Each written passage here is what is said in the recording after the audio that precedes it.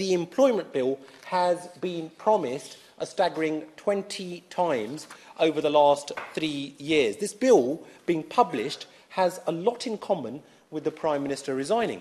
Both are events that should have happened months ago, clearly supported by a majority of the public and MPs, only to be needlessly delayed by Tory incompetence. Yet, as they stall, unscrupulous employers act.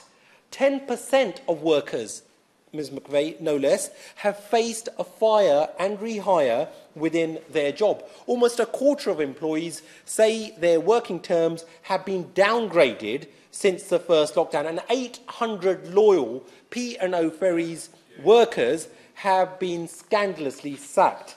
And all government can say is that their planned statutory code will be announced in, and I quote, due course. Given how often they say that, I'm beginning to think that in due course might be their next manifesto pledge and their ma next manifesto slogan. Get it done in due course.